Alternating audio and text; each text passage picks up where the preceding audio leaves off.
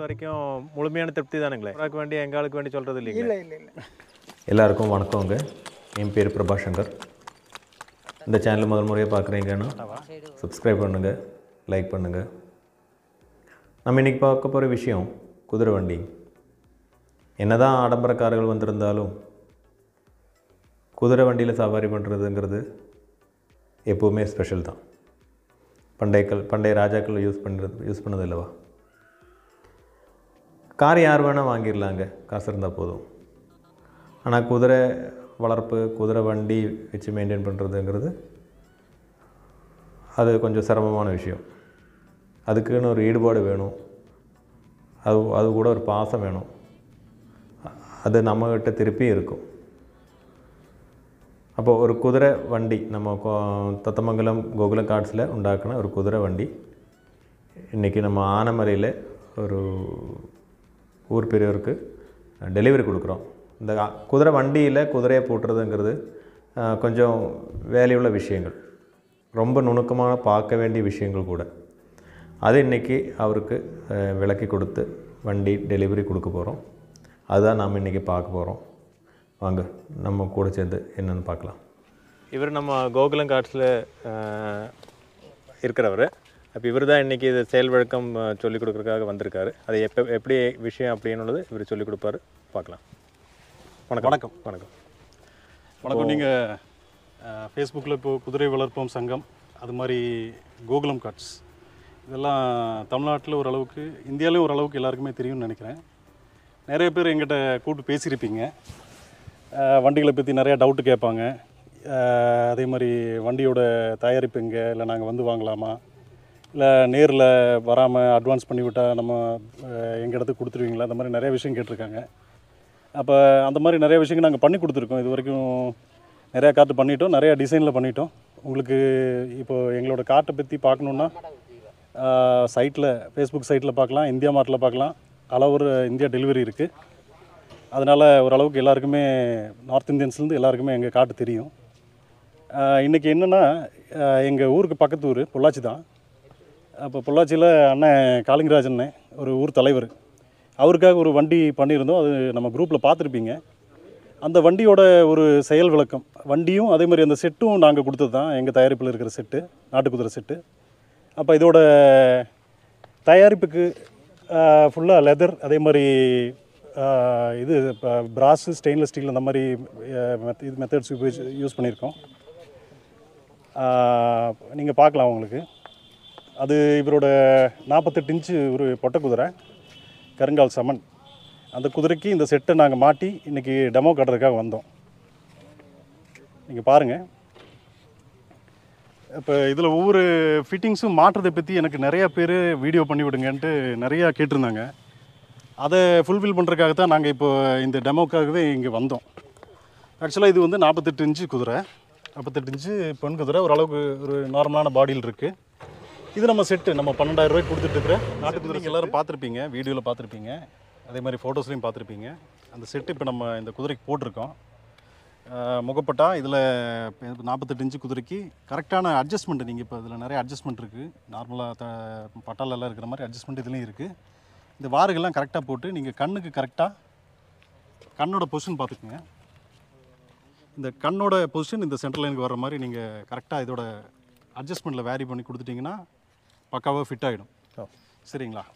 அதே மாதிரி நெஞ்சுப்பட்டா நெஞ்சுப்பட்டாவோட ஹைட் வந்துட்டு எப்போவுமே நீங்கள் போடும்போது குதிரையோட இது வந்து முன்னாடி கையோட தோல் சப்பை.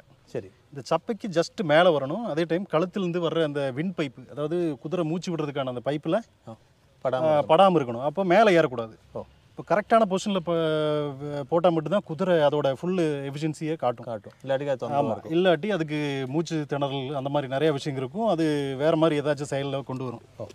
அப்போ அந்த இந்த அட்ஜஸ்ட்மெண்ட் நீங்கள் மெயினாக பார்த்துக்குங்க இந்த அட்ஜஸ்ட்மெண்ட் பண்ணுறது மேலே இந்த போட்டிருக்கிற வாரில். இந்த வாரில் நிறைய ஹோல்ஸ் இருக்குது இந்த ஹோல்ஸ் எதை நீங்கள் எப்படி கரெக்டாக மேட்ச் பண்ணுறீங்களோ அதை பொறுத்து இதோட கரெக்டாக வின் பைப்புக்கு மேலே தோல் சப்பைக்கு அந்த கை சப்பைக்கு மேலே வின் பைப்பு கீழே கரெக்டான பொசிஷனில் வச்சிங்கன்னா அது எங்கேயும் ஸ்லிப் ஆகாது. குதிரை ஓடும்போதும் அதுக்கு சிரமம் இல்லாமல் ஓடும். அதே மாதிரி அடுத்தது இந்த சேடல்னு சொல்லுவாங்க ஜீனிக்கட்டைன்னு சொல்லுவாங்க. இந்த ஜீனிக்கட்டையோட பொசிஷன் வந்துட்டு நம்ம செட்டில் ஆல்ரெடி இப்போ ஃப்ரெஷ்ஷுங்கிறதுனால நம்ம கொடுத்தது தானே இல்லைங்க ஆமாம் இது எல்லாமே நம்ம கொடுத்தது தான் இது இப்போ இந்த சேடல் செட் வந்து போட போட இது டைட் பண்ண பண்ண இது கொஞ்சம் கூட சீட்டிங்காக இருக்கு இருக்கு. குதிரையோட ஷேப் எப்படியோ அதுக்கு தகுந்த மாதிரி லைட்டாக லெதருங்கிறதுனால லைட்டாக இழுத்து அதே ஆட்டோமேட்டிக்கலி ஒரு நாலஞ்சு டைம் நீங்கள் போட்டிங்கன்னா செட் ஆகிடும் இந்த ஜீனி கட்டை போடும்போது நீங்கள் மெயினாக பார்க்க வேண்டியது நம்ம வண்டியோட இப்போ நம்ம நிறுத்த போகும்போது என்ன பண்ணுவோம்னா வண்டி நிற்கும் போது இப்போ குதிரை நம்ம கைத்து இழுக்கும் போது வண்டி நிற்குது ஆமாம் நிற்கிற டைமில் வண்டி இந்த பக்கம் முன்னாடி தள்ளும். ஆ. தள்ளுற டைமில் ஜீனி கட்டை தான் இழுக்கும். ஆ. இழுக்கிற டைமில் நீங்கள் அடியில் இந்த கத்துவார் ஃபஸ்ட்டு கத்துவார். ஆ.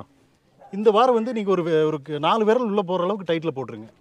ரொம்ப லூஸும் வேண்டாம் ரொம்ப- டைட்டாகவும் வேணாம். ஏன்னா இது நம்ம நெஞ்சு எப்படி ஓட் நம்ம மூச்சு விடும்போது எக்ஸ்பெண்ட் ஆகுதோ அதே மாதிரி இதுவும் எக்ஸ்பெண்ட் ஆகும். ஓ. அதனால ஒரு நாலு விரல் உள்ள உள்ள விடுற அளவுக்கு நம்ம அதோட அட்ஜஸ்ட்மெண்ட் கரெக்டாக போட்டுங்க அதே மாதிரி இந்த வாலாசனம். வாலாசனம் ஒரு சிலவங்க இது முன்னாடி தள்ளிட்டு வர மாதிரிலாம் போட்டிருப்பாங்க. இது ஏதாச்சும் ஒரு குதிரையிலேருந்து எடுத்து அப்படியே அதை மாட்டக்கூடாது. கண்டிப்பாக இப்போ குதிரையோட இந்த லெங்க்த்து இந்த வால்ல இருந்து இந்த ஷோல்டரில் வச்சிருக்கிற இந்த லெங்க்த்து வந்துட்டு நீங்கள் கரெக்டாக பார்த்துக்குங்க. அந்த லெங்க்த்தில் தள்ளிட்டு போகாத அளவுக்கு இந்த வாலாசனத்தோட அட்ஜஸ்ட்மெண்ட்டு நீங்கள் போட்டாகணும். சரி.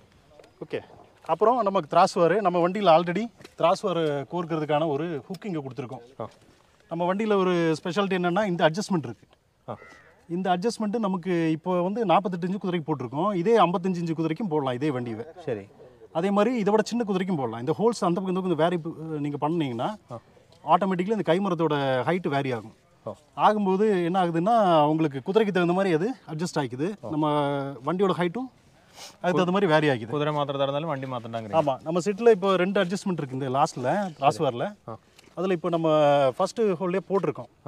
இந்த ஹூக்கை பார்த்தீங்கன்னா இந்த இங்கிருந்து கலண்டு வர்றாத அளவுக்கு இருக்கும் இது ஆமாம் நார்மல் ஹூக்குனா இப்போ குதிரை ஓடும்போது அந்த பக்கம் இந்த பக்கம் அலாசிச்சுன்னா கல்றதுக்கு வாய்ப்பு இருக்குது ஆமாம் இந்த ஹுக்கில் இது கல்டாது ஆமாம் ஒன்ஸ் போடும்போது உள்ள சீட்டிங் ஆயிடுச்சுன்னா அப்படியே கிடக்கும். நம்ம வேற எதுவும் எக்ஸ்ட்ரா கட்ட வேண்டியதில்லை.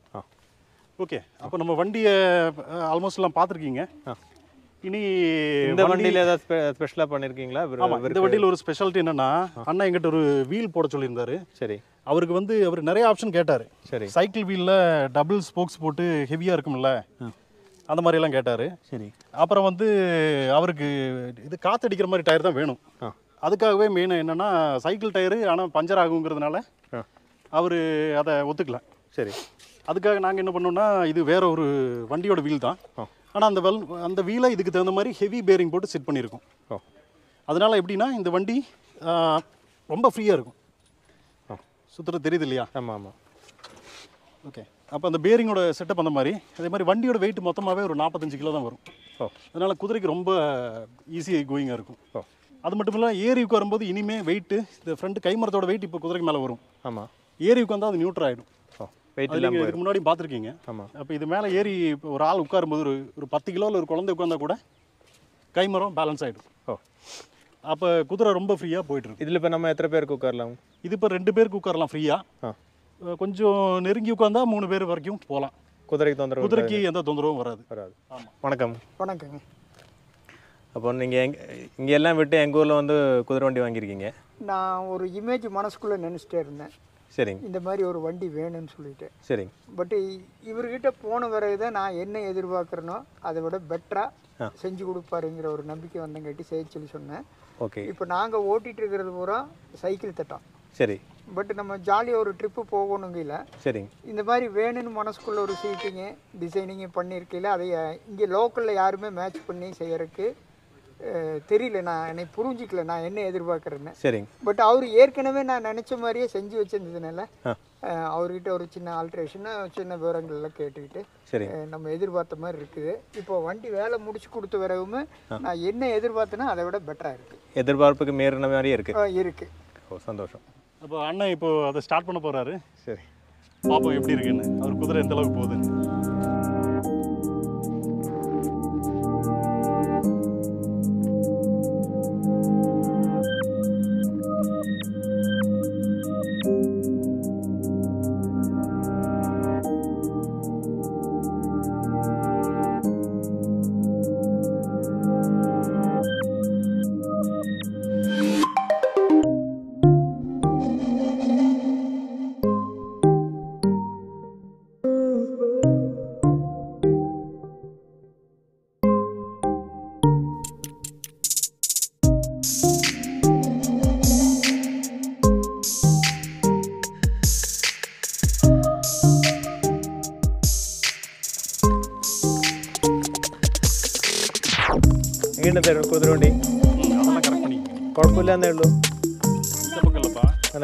திரும்பும்போது இந்த பக்கம் அப்படி தான் இருக்கு. ചാട്ടം ഉണ്ടോ ഏ கொஞ்சம் அடுத்ததில் போட்டால் கரெக்டாக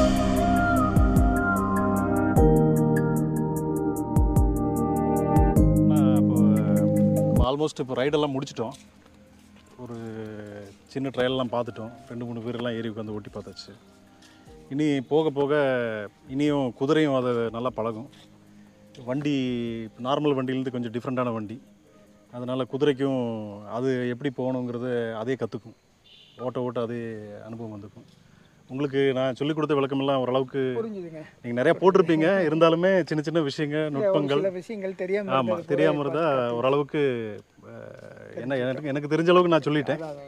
நீங்களும் அதை கரெக்டாக ஃபாலோ பண்ணி பண்ணிட்டு தான் இருக்கிறீங்க. இருந்தாலும் இந்த விஷயங்க கொஞ்சம் நுணுக்கமான விஷயங்கள்லாம் கொஞ்சம் நல்லா தெரிஞ்சுக்கிட்டிங்கன்னா இனியும் குதிரையை நல்லா உங்களுக்கு ஓட்ட முடியும். ஓகே. அப்போ எல்லாருக்கும் ஒரு வணக்கம் சொல்லி எல்லாத்துக்கும் ஒரு வணக்கங்க. ரொம்ப நன்றி. அப்போ வண்டியை பொறுத்த வரைக்கும் முழுமையான திருப்தி தானுங்களே? கேமராவுக்கு வேண்டி எங்காளுக்கு வேண்டி சொல்கிறது இல்லை இல்லை இல்லை. ரொம்ப திருப்தி. நான் சொன்ன மாதிரி நான் எதிர்பார்த்த மாதிரி வந்திருக்கேன் ஓகே அப்போ இனி ஒரு நாலு பேர் எங்களுக்கு ரெஃபர் பண்ணுவீங்கன்னு நினைக்கிறேன். கண்டிப்பாங்க. கண்டிப்பா. கண்டிப்பா. கண்டிப்பா. இப்போ சந்தோஷமாக ஓட்டுங்கோ. இனி ந- இதை விட பெரிய குதிரை. இனி நிறையா வண்டி எங்கிட்ட இருந்தே வாங்கணும்னு உங்களுக்கு வேண்டிக் கொள் வேண்டிக் கொள்கிறேன் சரிங்க. இப்போ இந்த வாய்ப்பு கொடுத்ததுக்கு ரொம்ப நன்றி. ரொம்ப நன்றி. எல்லாருமே இதை பார்த்துட்டு இதில் இருக்கிற சௌகரியங்களை அனுபவிக்க ஜாலியாக போகிறதுக்கு தட்டு வண்டி விட ஒரு பத்து பதினஞ்சு கிலோ தான் அதிகமாக இருக்கும். குதிரைக்கும் ஒன்றும் டிஸ்டர்பன்ஸ் இருக்காது. ஜாலி ரைடிங் போயிட்டு வரலாம் ரோட்டில் ஆன் ரோடு போகலாங்க சரி. சரி. வரோம் ஓகே கண்டிப்பாக இந்த வீடியோ உங்களுக்கு பயனுள்ளதாக அமைஞ்சிருக்கும்னு நான் நினைக்கிறேன்